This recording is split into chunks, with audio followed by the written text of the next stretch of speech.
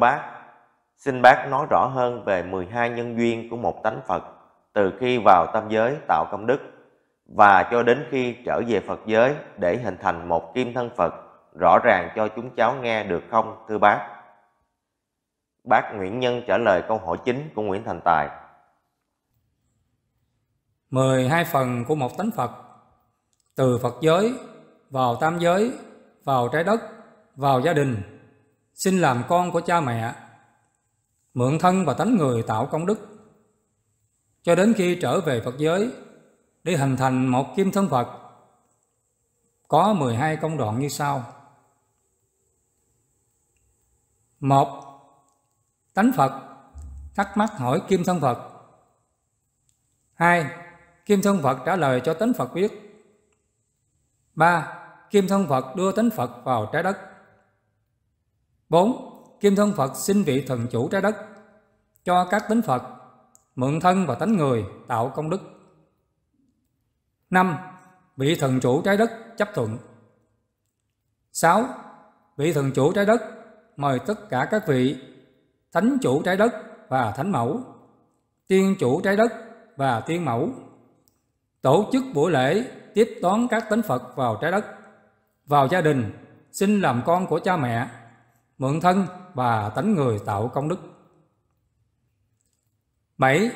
Ban nghi lễ thần thánh tiên, đọc nội quy và cam kết cho các thánh Phật nghe rằng khi làm con của cha mẹ thì phải sống đúng tư cách của một con người.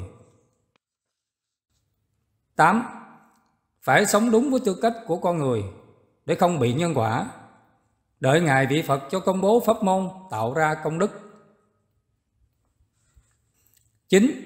Khi mang thân và tánh người rồi, nếu làm bất cứ chuyện gì ở trái đất này là bị nghiệp đi luân hồi, không có cơ may tạo công đức được, thì việc trở về Phật giới rất xa vời. 10. Khi mang thân và tánh người chỉ ở gia đình, lo cho gia đình và lo cho tổ quốc là đủ. 11. Tánh Phật khi mượn được thân và tánh người rồi, không chịu nghe lời dạy bảo của sáu vị, thần chủ trái đất và thần mẫu, thánh chủ trái đất và thánh mẫu, tiên chủ trái đất và tiên mẫu, mà lại nghe người khác làm bậy, thì chắc chắn bị nghiệp, cũng gọi là tạo nhân quả đi khắp nơi ở trái đất và tam giới. Lưu lạc hàng 50, 60, chục tỷ năm. 12.